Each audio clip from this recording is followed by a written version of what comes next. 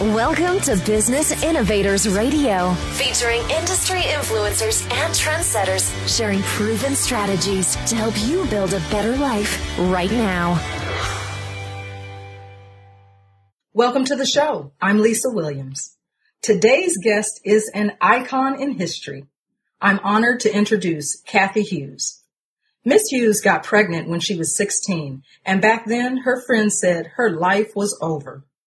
Her mother kicked her out of the house and she was shocked. Miss Hughes said pregnancy was the beginning.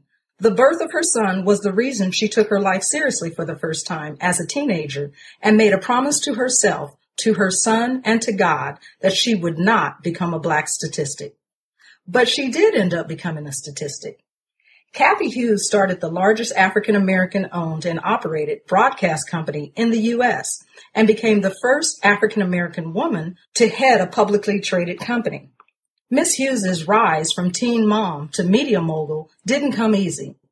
Working her way up at the Howard University radio station in the 1970s, Miss Hughes had the opportunity in 1979 to buy a radio station with her husband.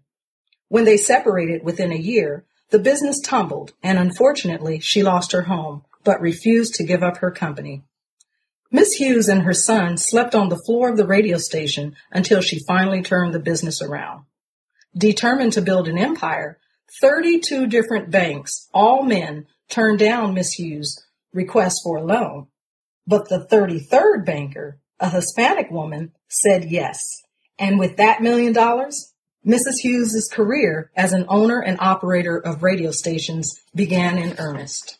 In 1977, Miss Hughes stepped down as CEO of Radio One, a position taken over by her son, Alfred Charles Liggins III. And Miss Hughes is now board chair and secretary of the company.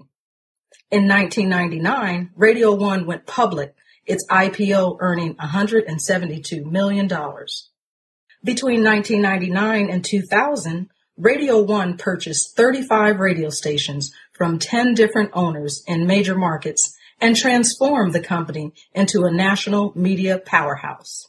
In 2015, Radio One bought out Comcast's minority interest in TV One and became the only African American owned cable television network in the country. Miss Hughes has received hundreds of prestigious awards and recognitions from Lifetime Achievement Awards to being inducted into the American Advertising Federation Hall of Fame. One of her highest recognitions was the corner of 4th and 8th Street in Washington, D.C., being named the Cathy Hughes Corner in her honor. Miss Hughes is highly active in philanthropic work and is a champion for the hungry and homeless, a mentor to countless women, and an advocate dedicated to empowering minority communities. Please welcome to the show, Cathy Hughes. Lisa, I'm telling you, I need to hire you, take you on the road with me to do my introductions. Thank you, my sister. That was beautiful. We're glad to have you. Well, let's get started. Today, we're going to talk about the growing number of black women in business, how we've evolved, and what it'll take to help African American women in business run successful businesses. Let's get started. Black women have always had an entrepreneurial spirit. From our great grandmothers who cleaned houses for a living and sold fish dinners at churches, to the many African American women who rose to the tops of their industries, including Michelle Obama, the first African American First Lady of the United States, Sheila C. Johnson, founder of BET, becoming the first African American woman billionaire, Oprah Winfrey, having the number one daytime talk show in America, Serena Williams, number one in women's singles tennis. Janice Bryant, owner of the largest minority woman-owned employment agency in the United States. And Ursula Burns, the first African American woman CEO of a Fortune 500 company. And of course, the list goes on and on. In fact, according to the 2015 State of Women-Owned Business Report, the number of women-owned businesses grew by 74% between 1997 and 2015. The report also stated that 33% of women-owned firms are owned by minority women, and black females are amongst the fastest growing group of entrepreneurs in the U.S. It's wonderful to know that African American women entrepreneurs are the fastest growing segment of entrepreneurs in the U.S. What a great statistic. So it's important that we don't let this momentum die. Now, more than ever, African American women entrepreneurs need resources available to help them not just be in business, but grow in business. The biggest hurdle African American women business owners face is that many are first generation entrepreneurs and they lack exposure to other black women in business that have successful businesses from which they can glean habits and proven processes from. Let's look at an example of just how important having a role model accessible to you can be. Here is what Jessica Alba, actress and CEO of the Honest Company said about having someone that you can call on. As far as mentors go, countless. I was not shy about making phone calls to many people. I've been fortunate enough to know people like Tory Burch and Diane von Furstenberg, and they, you know, got lots of emails and phone calls from me along the way with tears in my eyes saying, I don't know if this is possible. Why is everyone telling me no? What do I do? What does it even mean to get venture capital? What is venture capital? What's a board? Like I just didn't know all these business terms. And so they helped me understand it. And it's nice having women that you can look to and rely on. Incidentally, her husband, Cash Warren, a Yale graduate, producer, and tech investor, introduced Jessica to his childhood friend, Brian Lee, an entrepreneur who co-founded LegalZoom. And the women Jessica reached out to, Tory Burch, who is a New York fashion designer, and Diane von Furstenberg, who is a billion dollar fashion designer. Unfortunately, most African American women don't have the same access and connections that Jessica Alba was blessed with. Black female entrepreneurs need a supportive network of African American women business owners that we can learn from. It's time to talk, share, and provide resources and roadmaps to Black women in business. We need successful mentors to inspire African American women on their journey in business.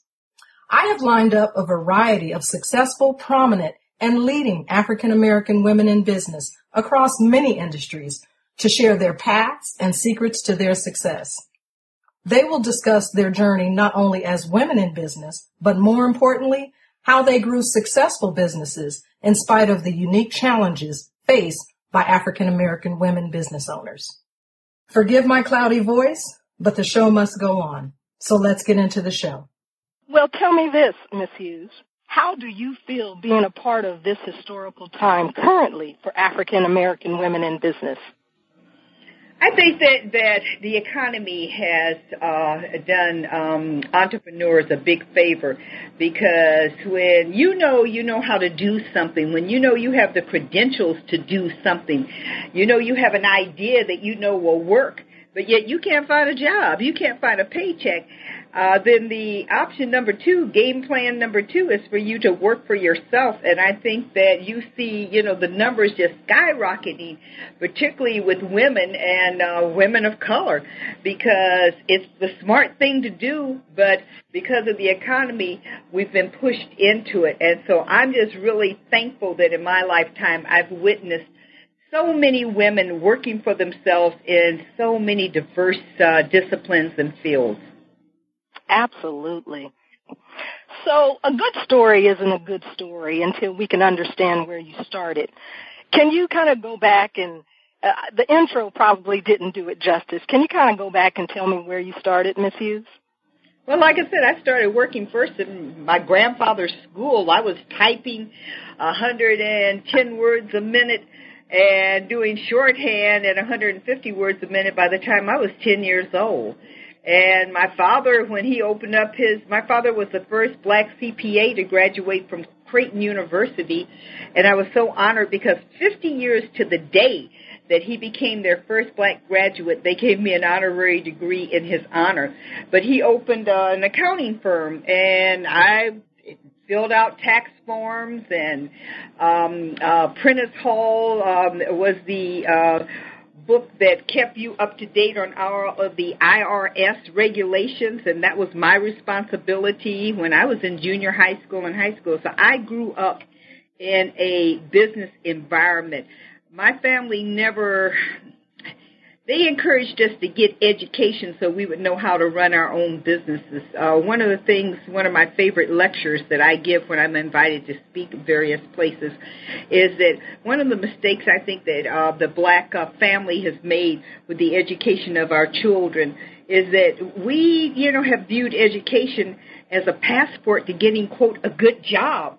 And when you look at a, um, you know, um, uh, Dick Parsons, or you look at these uh, individuals who have headed major corporations uh, in America. That's what generations, prior generations were encouraged to do. Get a good education, apply yourself, be the best. You know, the, the, um, head of, uh, the Carnival Cruise Line, Arnold Donald. I mean, the list goes on and on and on. The president of Ben and Jerry's, a brother. So many, um, uh, distinguished, the head of Xerox, a sister. So many distinguished black people. Can you imagine though if that had been our own company? Why can't we own Carnival uh, Cruise Lines? Why can't we own American Express? Why can't we own uh, Time, AOL, Time Warner? Yet uh, uh, we have progressed to the point where we know how to run them, so why can't we do it for ourselves? I agree. And, you know, I think we're moving in that direction. Absolutely. It, it, right.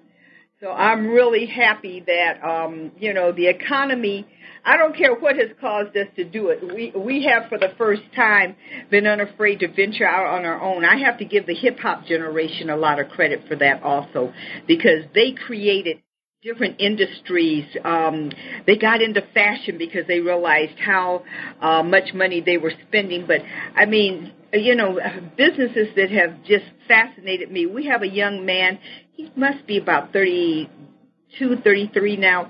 He has two big pickup trucks that have these gigantic containers that hold water and hoses, and he goes around to various corporations, including ours, washing cars.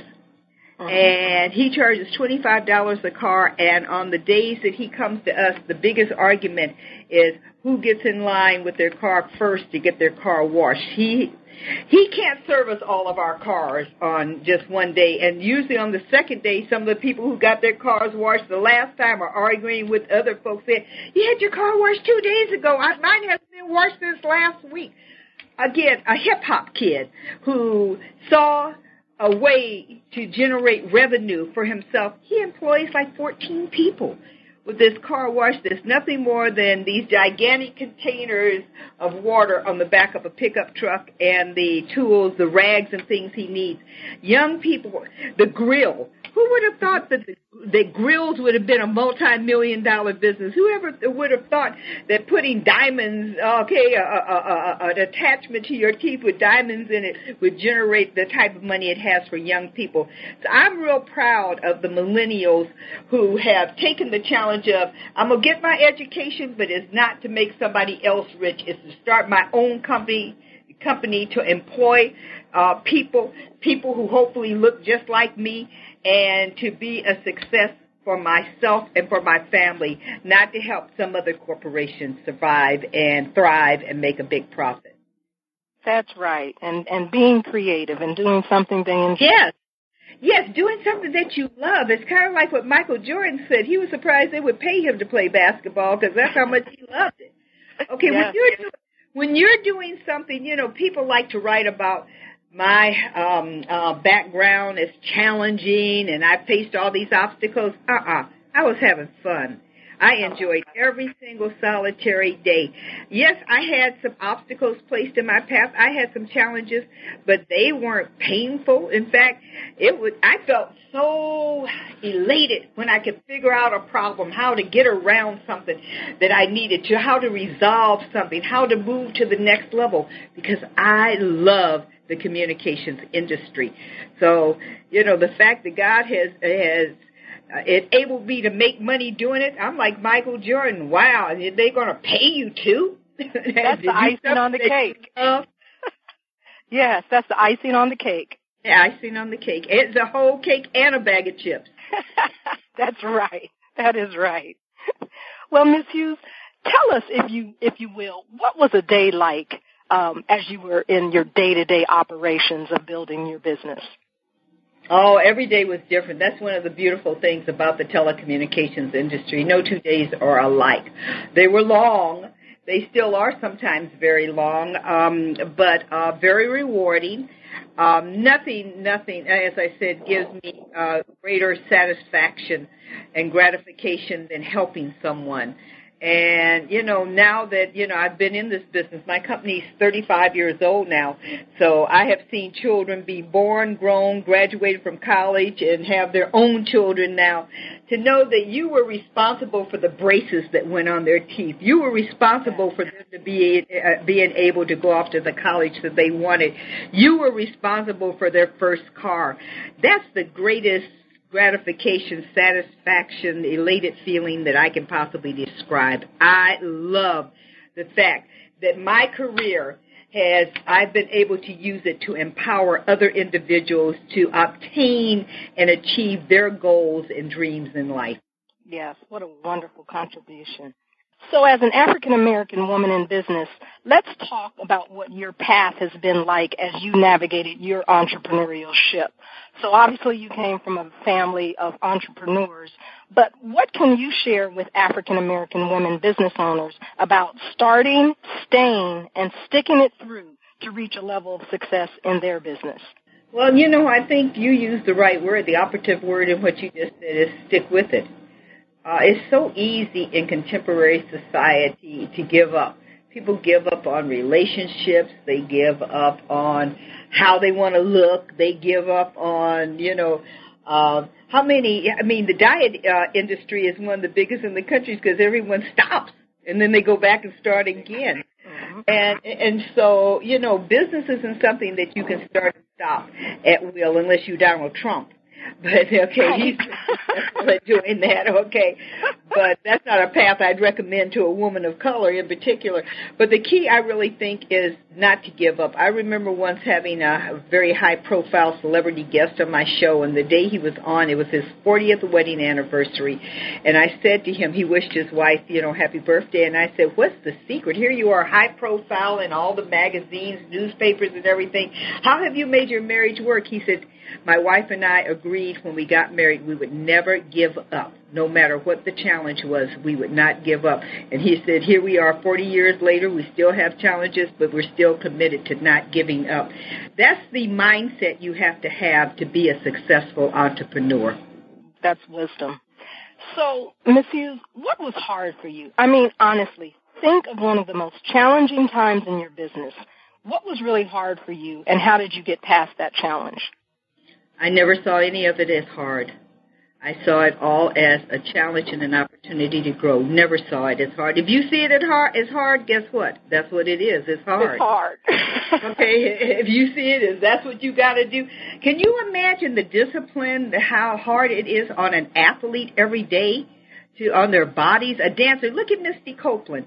To to see her stay in the condition that she has to be in so that she doesn't break her neck doing the things that she's able to do or break her foot off at the ankle that but that's not hard to her. It's rewarding. It's invigorating. That's the same way business is for me. Okay it may look hard to someone who's not doing it but i never saw it as hard because if you think of it as hard then guess what? That's when you're tempted to throw in the towel and give it up that's when you don't get to celebrate. You know, we just turned 35 uh, years old last year. This would be our 36th year this year, uh, having gone in business in 1980. You start seeing it as hard and it's a struggle and I'm tired and woe is me. At some point, you're going to say, I can't take this anymore. Particularly with businesses that that you know have generated some success all businesses go through cycles. You have good times and you have bad times. Being in business is not all, always a straight up projectile. Sometimes you drop down in a valley so low you can't see light. Uh-huh. There is no light at the end of that tunnel, and those are the times when you have to call upon your God and your God given inner strength to know that it's a cycle. It's, nothing stays forever. This too shall pass away. This did not come to stay. Yes, indeed. This too shall pass. Yes, absolutely. And that's good times and bad times. That's true. I think that's you know that's you don't stay on top forever either. You know, you don't stay on top forever, and believe me, it's harder to maintain success than it is to achieve success because sometimes you know you you ignore the challenges. Like i said to me it was never hard. It was challenging. It was fulfilling. It was invigorating. But sometimes when you get to a certain point where you are generating a profit in a business you are generating revenue it's kind of easy to sit on your laurels just to say well you know i'm going to play golf or i'm going to you know uh uh you know take it Vacation. easy. Just, thank you uh, right, a two, three, four, five year vacation, and then all of a sudden you're like, well, whatever happened to her and her business? She was doing so good at one time. Sure, sure. Yeah, she took a break. That's what happened, or he took a break. You can't do that in business because there will be up cycles and there will also be down cycles. What goes up has to come down at some point. Getting it back up, like I said, oftentimes is easier than keeping it up there for a prolonged period. All right. So we have many, many black women that have accomplished great successes as yourself. Um, as I don't see my I don't see myself, Lisa, as successful. I see Really? myself as a work in progress. To me, America has the wrong definition of success. To me, success should be judged the day you close your eyes. You, it should be determined then whether or not your life made a difference in the lives of others, not just in your life, but Yes. did you in fact help more people than you hurt along your path? And if the answer to that question is yes, then in my opinion, you are successful. I don't, I don't consider myself nor my company successful. I consider us a work in progress towards success. But Miss Hughes, you know you have impacted and helped the lives of people within this 35 years. You can't give yourself that I don't credit deny right now. that. I don't deny that, but I don't Okay. consider that success. I consider that the mission. I consider that the journey, not the destination. To me, success is the destination. Awesome. I'm still on the journey. Wow. I'm still. I don't. I don't want to stop. I don't want to stop impacting. I don't. I feel so blessed that after all these years in radio, ten years ago, I got the opportunity to start learning cable television, and then five, six years ago, I got the opportunity to start learning the internet. I'm loving when I'm learning about social media and millennials right now. So I see it still as a growth and a learning process for me and my company. Very nice. That's uh, that's some great insight. People should turn their thinking. Well, I don't know if they should turn their thinking so much as that's just how I view it. You know, the more people I'm able to employ, the happier uh, I am with the decision I've made to pursue certain entrepreneurial ventures because it provides employment. Like I said, I love when, you know, my employees, you know, um, uh, children grow up and come back and say, oh, Miss Hughes, I remember when I was five years old and I came to the Thanksgiving dinner and you fed me turkey and you didn't know that my mother didn't believe that we should eat turkey and blah, blah, blah. Okay. And so, you know, and I, this is my daughter and I let her eat turkey. You know, it's, it's just rewarding to watch a generational progression taking place. Yes, absolutely. So, can you share a nugget to help women that are just starting a business? Yes, I certainly can. You have to keep your eye on the prize, and you got to keep both eyes on the prize. One of the things that I'm a faster, and when um, you learn to fast, people tell you don't share it with everyone because the first thing that happens, people who love you and really care about you start telling you, oh, you could do damage to your heart. You could do damage to your lungs because it's not something that they do. One of the things with business is when you're starting, all businesses are a struggle to start. If business, if being an entrepreneur was easy, everybody would be an entrepreneur. Okay, it's, okay, it's not an easy thing. Some people are more adept at adjusting to the rigors of it um, and are um, you know more disciplined about it than others. But it's not easy for anyone. And so often, you know, to say how how you doing? Oh, business is slow. Oh my goodness, you know, I can't do this. I can't do that. I'm not getting this. I just lost that contract. And a well-meaning mother, a well-meaning best friend, a well-meaning mate will say, you might need to stop that and go get a good job. You're putting in 14, 18 hours a day. You're not making any money. Why do you keep doing this? You got all these qualifications. Why don't you just go get a good job? You have to keep your eye on the prize and you have to eyes on the prize and you have to be very careful about who you share the challenges that are confronting you with because very well-meaning, loving people will give you the worst advice. And that advice usually is throw in the towel, give it up. It's not worth the effort. Well, they can't determine whether or not it's worth the effort for you, but they encourage you to take your eyes off the prize. And the minute you do, you're dead in the water. So my advice is keep your challenges close to your heart and yourself. Talk to mentors of people who have been through them like yourself. But be very careful how you share the hard times that you and all businesses go through with other individuals because in their loving care for you, they can give you some of the worst advice. My mother, for about a four month period, wouldn't even speak to me because I would not give up on my first little thousand watt AM station and go get a government job. She said, you know, uh-huh. I'm, I can't believe that you're being so pig-headed. You're just going to crash and burn the way you're sleeping on the floor in a sleeping bag. You got your child living in a radio station. It's like you've had a nervous breakdown or something, Cathy. Go get a government job. You'll have security. You'll have benefits. Stop doing what you're doing. It's not working. Now, if she she didn't tell me that because she didn't think I could pull it off. She didn't like seeing me suffer. She, right. she she said that to me in love, out of love. She, you know, she was, she didn't want to see me going through this. But it was the worst advice she could have given me. Can you imagine if I had listened? Can you imagine if you would have listened?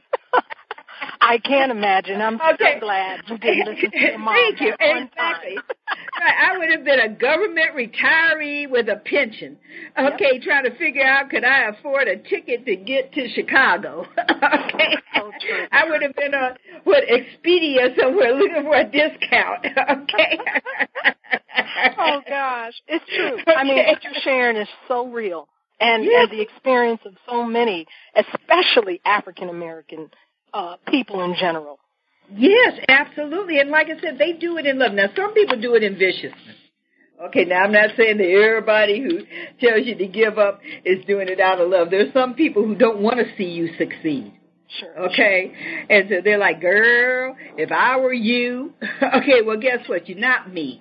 All right? And you don't have the same goals and desires. So keep your eyes on the prize and be careful about who you talk to. All right. Now let, let's have a little fun. If you could share something with your younger self, Miss Hughes, let's say 15 years ago, about being in business, what would it be? I'd have to go back further than 15 years ago based on my age.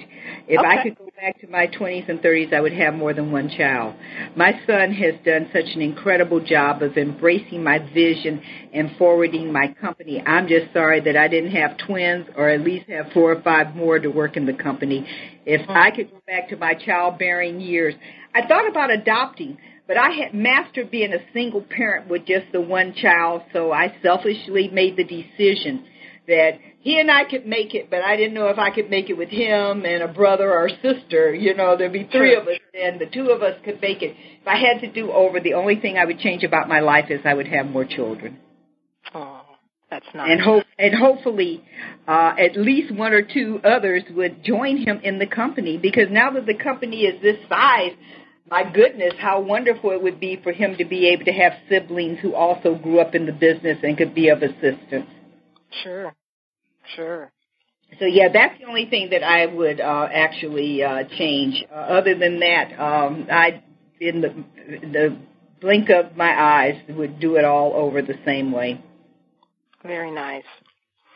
So as I explained in the introduction, one of the greatest challenges African American women face in business is the lack of successful African American women role models in our communities. So let's now talk specifically about the unique challenges African American women in business face. And I'm going to uh, name a couple of different uh, topics. And if you could let me know which one you might want to share a nugget or two um, that you either dealt with, had to get past, or had some experience with, um, we greatly appreciate your input. So uh, one of the areas um, specific to African American women uh, business owners and, and, challenges within our community is that they didn't understand uh, the family. The family didn't understand the entrepreneurial walk, which you just mentioned a few minutes ago. Um, another is no role model to call on. Many African American women don't have uh, very successful business owners, women, African American women like themselves that they can actually reach and, and connect with. Um, lack of relationships because, you know, maybe your friends did not own a business and you do own a business. Um, another area is investing in ourselves typically um, our culture we don't go to personal development seminars um, volunteering is a big one and and you spoke about that when you um, your your uh, your father's business uh, your father's school volunteering is not really typically taught in the African American home other than what we do at church. So, do any of those uh, jump out at you, and you might want to speak to? All, all of the above all, all of the above. I say to you that you don't need to look outside of the family, quite frankly, uh, for role models. Most black mamas are the best role models that you could possibly come up with. Most of them figured out how to stretch a dollar into two. Um, yeah. Okay, they they did whatever was necessary to help their families, whether they had a husband or not. They still, even those uh, who were blessed to have husbands and fathers in the, um, the family, still had additional responsibility. Any black woman who can successfully educate, rear, provide for her family can run a company. The same skill set that it takes to run a successful family is the same skill set that's transferable into business. We just don't see that. So, you know, um, when you talk about a Jessica Alba, you talk about Tory Burch, you talk about the the white woman network. We have it. We just call it something different. Uh, you know, all right. Okay. I mean, the best role model any black woman could have right now is Michelle Obama. Michelle Obama. Okay, this girl did everything, including getting her man the number one job in America. Okay, That's right. Obama could not be the president of the United States had he not had Michelle uh, right at his side. Okay, right uh, sometimes in front of him, sometimes beside him, but also, always having his back. Okay, always giving him the advice that he needed to go all the way to the top. So, you know, you, you don't have to be able to just pick up the telephone. In this day of technology, you are blessed. You can Google Okay, you can have a conversation. Uh, you can have an interactive conversation with anybody you so desire on the internet now, because just about all successful people have social networking going on, social media going on, where you can have conversations. You can go in the chat room and find out things. So you don't necessarily have to know Oprah personally to benefit from the sage advice that she gives all the time. Oprah loves, Oprah is a griot. Oprah loves to share, uh, share stories of success with all women.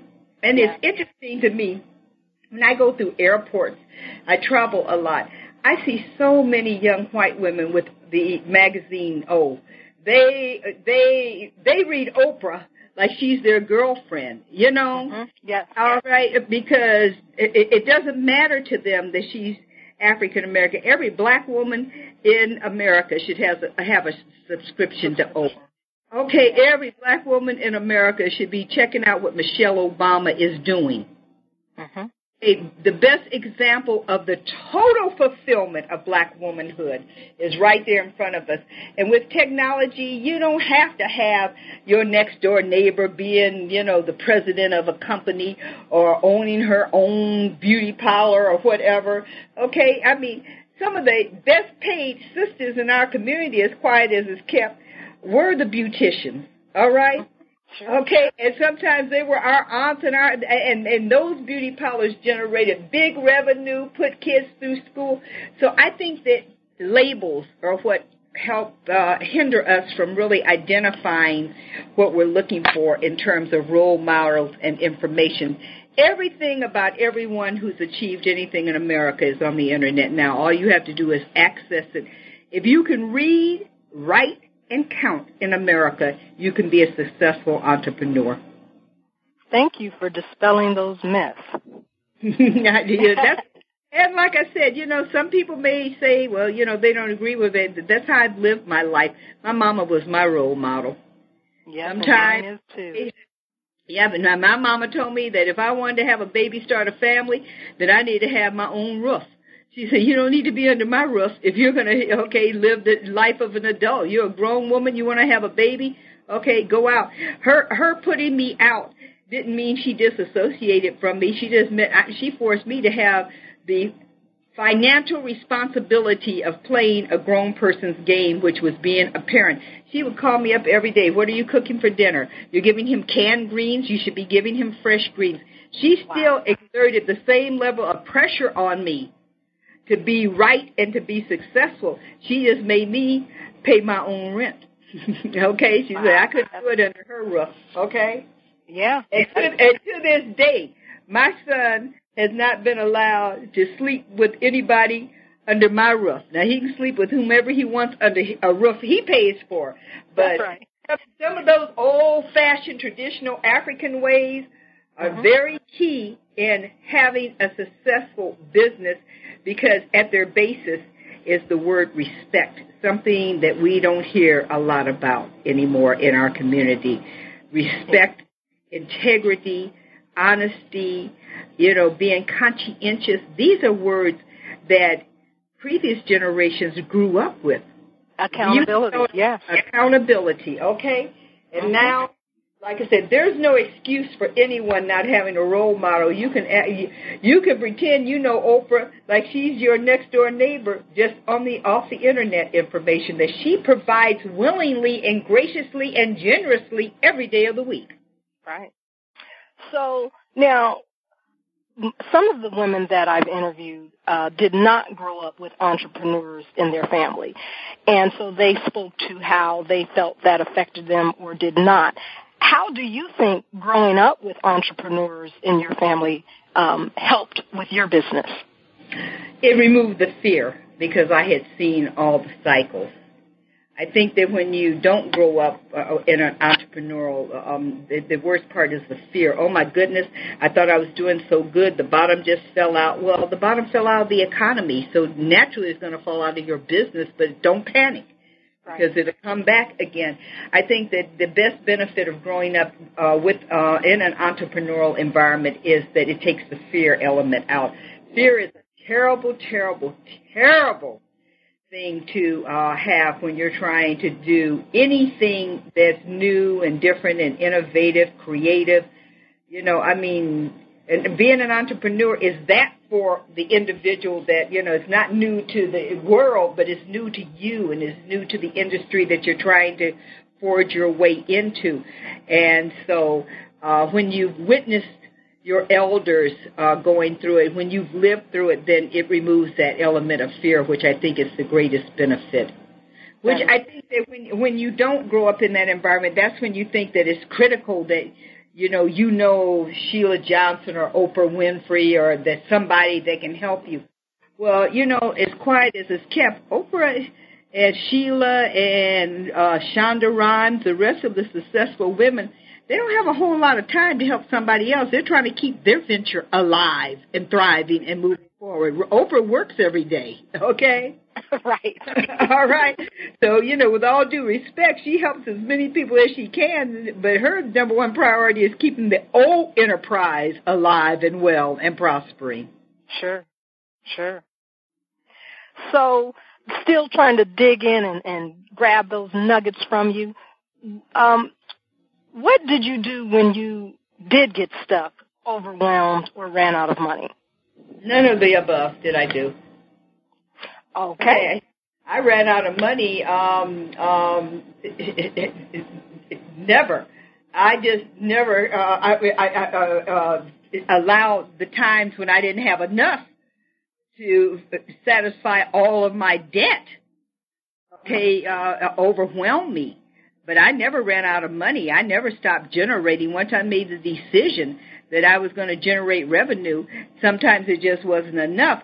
So one of the things that I teach in the business class, uh, at one time I was the AOL Time Warner uh, endowed chair for Howard University, and I would tell the students uh, the story of how if I owed you ten thousand dollars for the month and I couldn't make my ten thousand dollar payment, I would send you what I have.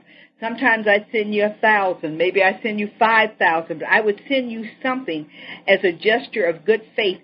So every one of the people I owed money to knew that I was trying to live up to my word, but my cash flow was not commensurate with what I needed. But what that instilled in them was a confidence that when I did get all their money, that they were going to get it. Uh, one of the things we make, um, a mistake we make as entrepreneurs, when we can't pay a bill, we avoid the person we owe the money to. We don't take their calls or, I was just the opposite. I would call you, tell you, listen, Lisa Williams, I'm sorry, I know you, I owe you a thousand dollars. I only have two hundred, but I'm sending the two hundred. I know I owe you an additional eight. I'm gonna try to add it to next uh, month's payment, but right now I just want you to know that I am not ignoring my debt. And, and. Mm-hmm. Yes, I, I faced, I accepted the responsibility, and so you know, I, I never ran out of money. It was just many times it was not enough to satisfy all the people that I owed it to. Very good. And so instead of the money, I gave them my word. I gave them my integrity. I gave them confidence and comfort that they would get their money the minute it became available. And I worked diligently to make certain that it would increase and that I would not be in that position with uh, with them on a permanent basis. Sure. So, what didn't you have when you were building your business that you wish you would have had in retrospect? Um, more children, as I said earlier. Same thing. more hours in the day. Um, more um, lending institutions. When I came into this business, banks weren't loaning money to radio uh, to broadcasting facilities. They had not. Dis- Number one, they didn't understand the the most modern of radio stations. Top notch everything couldn't have any more than about ten million dollars in hard assets. Yet that same station could sell for a hundred million dollars they didn't understand the you know assignment of of ninety million dollars to goodwill and so uh, I went into business prior to uh, major lenders having uh, telecommunications and broadcasting divisions that specialized in making money in my industry. That opened up maybe didn't really open up for about 10 to 15 years into my um, career. Uh, I wish there I had had more individuals like the woman who loaned me the first million dollars who understood that this was an up and coming industry and that it was a wise investment. Um, I wish that uh, I had had more hours in the day because um, that was, you know, one of the biggest challenges was trying to get everything done in the amount of time only 24 hours in a day for everyone and uh, there were so many things that uh, I perhaps could have done better if I had had more time to dedicate to it. Sure. And and how did you keep your wherewithal, your mindset, knocking on 32 doors and being turned down uh, for funding? I needed a million dollars. It wouldn't keep my mindset. I was looking for the next address. Okay. Next. Uh, yeah, thank you. Next, uh, one of the things with my father being a CPA, I understood the law of averages, and I again, this is something I teach my classes. There's an old corny joke about a drunk who's standing on a corner talking to another drunk. And he says, yeah, you know, everyone who comes back here, by here, I ask her, I tell you, you sure are pretty, baby. I sure would like to go to bed with you. So the other drunk says, I bet you get slapped a whole bunch. He said, yeah, but I get a whole lot of play too. The law of averages, okay, means that everyone can't say no. And I Everyone understood cannot that. say no. No, the law of averages means at some point you get a yes. And you got to stay alive. You got to keep the faith. You got to keep your eyes on the prize long enough to wait for that yes. In my case, it was 32 times I was turned down. 32 times I was slapped. But that 33rd time, I got to play. okay? Yeah, and you got to check. yeah, I got to check. The law of averages means that no number can stay the same indefinitely. You cannot stay, no matter how many no's you get, at some point a yes has to appear. Wonderful. Law of averages, and I knew that because I was the daughter of a CPA. So I knew at some point that if I just kept, you know, working at it, that it was going to turn around. Someone was going to say yes. Then the concern is, do they say yes under the conditions and terms that you are agreeable to? Sure. Absolutely. But for sure, it's going to turn around and someone's going to say yes. Okay, so now I got to complain about something a little bit here. I need you to help me out. Um, our black businessmen are showing us out. Tyler Perry has his homeless to success story, and Eric Thomas, the motivational hip hop preacher, has his homeless to PhD story. So us ladies, we've got to get our stories um, out and documented even more online and and you know available. And so I ask you, what would you say your rags to riches story or your hero story is? Mm, I don't know the answer to that question because, like, that's not how I see it. Okay. Yeah, no, I, like I said, that's other people write about me like it's a Horatio Alger story, rags to riches. No, um, I'm like Nikki Giovanni. We were poor. I didn't know it. Okay, because we were Right. happy. Okay, we were a happy family. So, uh, yeah, no, I, you know, that that that's all good for those individuals uh, if that's how they care to view their, you know, rise to where they are. But that's not how I see mine. So, you know. Well, well, could I say that your hero story is uh, from single mom to uh, million, uh, first woman ever millionaire to um, uh, sell a business?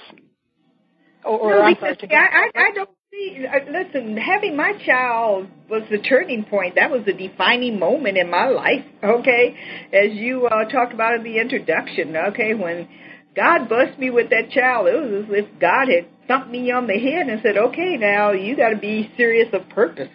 okay. Yeah, yeah. All right. And I loved your analogy that I am a statistic, but I didn't want to be the wrong type of statistic. I didn't mind being Okay, that's correct. Correct. I didn't want to be having to go to a jail to visit my child. Okay. I didn't want to have to do anything to compromise my integrity in order to feed my child. I didn't want to. Okay. So, you know, um I really I see it differently and I admire those folks who like to share that, you know, oh, I pulled myself up by my bootstraps. I had a horrible life. All of us got some version of horrible if you black growing up in America. That's right. Okay, all right. It's okay. I mean, millennials are getting gunned down by the police. Never in our history have people in authority been able to just kill us for no reason before. This is way worse than lynching.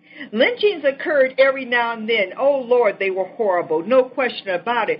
But now it's the authorities. You call the police, you gotta worry about are you in more danger from the authorities than you are from whoever is raping you, bothering you, beating you, robbing you, or whomever. Okay, you It's might have a better side. Thank you. It's coming from every side. Never before in our history have we experienced that. Never before. Mm. Not even during the times of slavery. These are the worst times in terms of our physical presence and existence and protection that we have ever lived through as a people. Mm. So true. And it's got to change.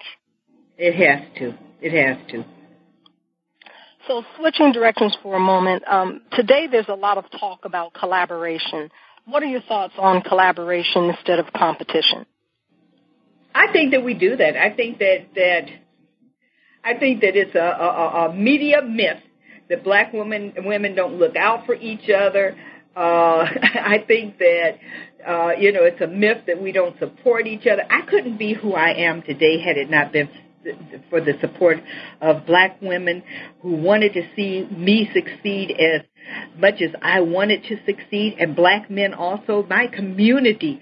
You can't succeed by yourself. You just can't wake up one morning and decide that, oh, Lisa Williams is going to do a radio show and it's going to be, you know, an important outlet for people who, uh, you know, are entrepreneurs you have to have other individuals who share your vision and say, we want to see Lisa Williams succeed. Yeah. It, it, it not only takes a village to raise a child, it takes a village to propel, propel you into uh, uh, achievement, into success. It takes a collective effort. So this competition, you know, at one time they said, you know, well, uh, black women were competitive with with each other over our men. Well, right now, we ain't got to worry about each other. We got to worry about white females, Latino females, yep. Asian females, and even female impersonators want black men. Okay, so okay, all right. So this old myth that sisters don't like each other because we fighting over our men. Okay, we fighting with everybody over a good everybody. black man in this day and time. Okay so true. So true. Everybody. yes, exactly. The black man is the most prized possession now. Okay, so you know, I think it's a myth. I mean, every time um, I see my sisters um, who are, you know, uh, heading companies and running things, we embrace, we talk. I mean, Oprah and I would not, I would not consider Oprah a close personal friend, but if I called her today, within at least 48 hours she would get back to me and if it was an easy day on her she might get back to me today. And she and I aren't close. We don't hang. We don't you know but okay but the respect is there. Sisters really do support each other a hell of a lot more than we give we get credit for or give ourselves credit for. We really do wish the best. We really are supportive. We really do in words for each other and the fact that you know people the common uh, conventional wisdom says that we don't that's just another way of keeping us separated because when we look how powerful our sororities have become when we join together ain't no stopping us it's so true. And that's my experience as well. We are supportive of one another. Exactly. You know, when I got your request, I was like, oh, I'd be honored to do this sister show. Okay? Awesome. Thank you. You know, no, I mean it because I mean, please. Not only you know did I feel that it would help me, I felt it would help you too. It's another oh. guest. I, hey, I've been there, done that. When you're doing interviews and trying to uh, schedule people, and the worst thing when I used to do um, a television show for TV One called One on One, I'd see somebody consider them a friend, and they say, "Here, call this number, set it up." I call that number, I get the runaround. Okay, all right. I got a yes from them, but I, I know how hard it is to schedule interviews. Okay. Yes, it is. Yes, it is. All right. And sometimes it's just the person is busy, but the worst thing is for somebody to tell you they're going to do it and then refer you to one of their people, and their people give you the runaround or ask you a thousand questions. I appreciated how you sent me an outline and a text of what you wanted to cover with me because you wanted me to be prepared. You know, I appreciate that's a sister looking out for a sister. You and I couldn't pick each other out of a lineup. No, we couldn't. Okay. But yet you were supported enough to want to tell my story, and I was supported enough to want to do it. Sisters help each other a lot more than we get credit for. I love it. And one of the things I share with business owners, especially women, is how they can succeed without having to compete. And yes. part of that, uh, as we spoke about earlier, is implementing the power of positioning and leveraging the media to build their brand and collaborating. All of that collectively helps grow a business so much quicker. Absolutely. Absolutely. Yeah. Absolutely. And what you're doing, giving exposure to yeah, to my favorite uh, word. women entrepreneurs. Okay, I mean exposure is so you don't have to do this. I mean, in this day and time, again, you go on the internet, you can come up with at least a thousand black women who have businesses that you could interview. Okay, and so each one of us that you bless with your airtime with sharing your position empowers uh, uh, the other, and we grow together and and it's and, and I appreciate you saying that. This year, I said that I would launch my Grow by Giving campaign, and that is my heart for this project. Yes, I, I want my daughter and and other young girls and and first women, obviously, that are in business, but hopefully these will be archived and people can access it and not only can they hear the so- stories of all of you but hear the passion as you speak about what you did yep. and how you did I, and I salute you for that but who would describe that as you supporting black women they would not okay probably not Maybe. I don't exactly. know. Okay. That's not okay, but yeah. that's what it, that's what it is. Yeah. And I thank you. I thank you for doing that for me and my company and the countless others that you're doing it. My pleasure. So, how do you think we can move forward and turn that growing number, that statistic I shared earlier of African American women in business into successful million, multi-million, and billion dollar businesses? By supporting each other, by doing mm-hmm. exactly what you're doing, by supporting each other, telling um, the story so often um, because of uh, individuals like yourself. The best thing is that you are doing an unwired network. You're hooking us up without really having to physically hook us up. You're making us aware of each other. And you know, sometimes you might want something. You're like, you know what? I heard that. I heard a woman talking about doing that on Lisa's show. Okay, I didn't know. Uh, you know, so and so and so and so did that information is power. One of the things that has held our community back, both men and women. By the time we get the information, it's black history. It's not current events. Okay, it's old, gone, done, contract gone, money gone. Okay, information is power. When we get the information in advance, we have enough time to figure it out. We always make the right decision to come out on top yeah, we get the opportunity to prepare. Absolutely. And there's so many things we don't get the opportunity to prepare for. So yeah, yeah. absolutely. So, um, what impact would you like to make, Miss Hughes, as an African American woman in business over the next ten years? Oh wow! what impact? What impact would be that hopefully uh, in in ten more years I will be to a point where I can just spend my days volunteering and helping other individuals without uh, it being attached to to an entrepreneurial um, venture. I I love um, working with women who are homeless. So many of have jobs but cannot afford to keep a roof over their heads, and uh, I would like to be able to just spend my time and the blessings that God has shared with me in terms of talents and expertise um, free of charge to uh, those who might find themselves in need of it. So I'm hopeful that the impact that I will have will be because I've had the opportunity to step outside of that which I have uh, built in terms of business and be in total philanthropic um, mode and mood and um, uh, use uh, for the fourth quarter of my life those skills to benefit others who uh, would not otherwise have the opportunity. Another phase of service. Another phase of service, absolutely. Very nice. So, do you have a suggestion for black women in business on how to approach or seek a mentor? Uh, no, because as I said, they got them. They just uh, have to. I guess my advice would be you need to open your eyes and realize what you're looking at. Okay, look at your aunt, look at your mother, look at your grandmother, look at your next door neighbor, look at your teacher. Look at the choir director at church. Look at the women who are in front of you that that may not be, you know, the chairman um, uh, of a, a corporation, chairperson of a corporation, but still are employing skills at a level that uh, are transferable into any type of entrepreneurial uh, venture.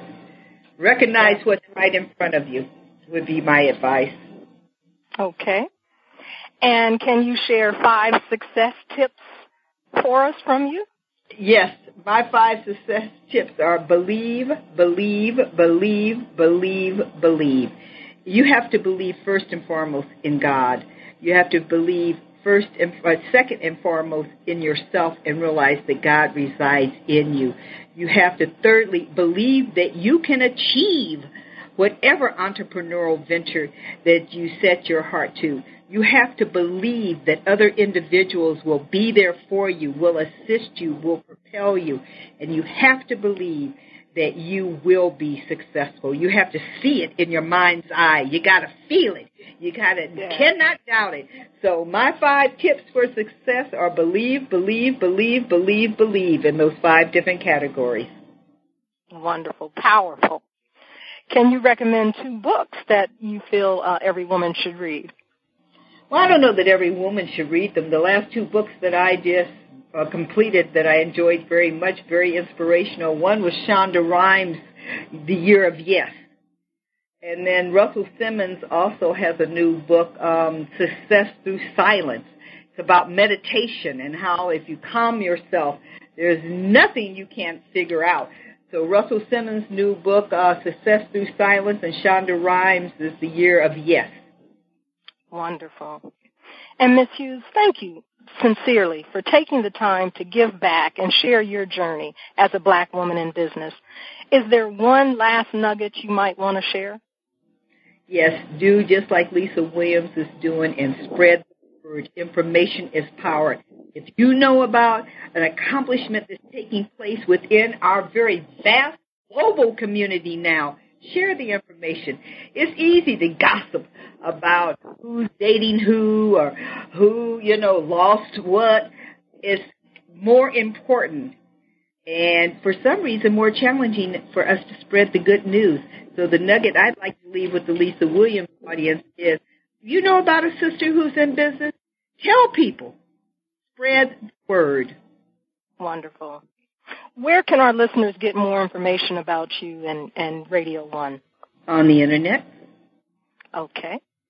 All and thank you for joining the show today. And everyone remember, lead with value and the revenue will follow.